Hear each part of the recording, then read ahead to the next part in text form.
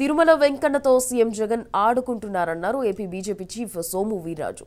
Jumbo పాలక మండలి నిర్ణయం కరెక్ట్ కాదన్నారు. తమకు తోక పార్టీ అన్న వైసీపీ నేతలు తమ వ్యాఖ్యలను వెనక్కి తీసుకోవాలని డిమాండ్ చేశారు ఆయన. వైసీపీ మంత్రులు నోరు జారితే తోక కత్తిరిస్తామని సోము వీర్రాజు హెచ్చరించారు. ప్రధాని మోదీ జన్మదినం సందర్భంగా పదిహేడున ఉచిత వ్యాక్సిన్ కార్యక్రమానికి శ్రీకారం చుడతామన్నారు. సమర్పణ అనే భావనతో సెప్టెంబర్ పదిహేడు నుంచి అక్టోబర్ ఏడో తేదీ వరకు ఈ కార్యక్రమాల్ని దేశవ్యాప్తంగా నిర్వర్తించడం జరుగుతుంది.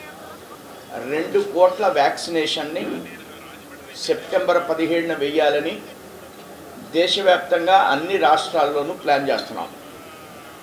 ప్రతి కార్యకర్త ఇరవై ఐదు మందికి వ్యాక్సినేషన్ వేయించాలి. నిన్న మొన్న మంత్రి ఆయన ఒక ప్రకటన చేశాడు ఎవరంటే సిదిరి అప్పలరాజు. ఏం చిదిరిందో నాకు తెలియదు కానీ అర్ధరాహిత్యమైనటువంటి మాటలు మాట్లాడాడు.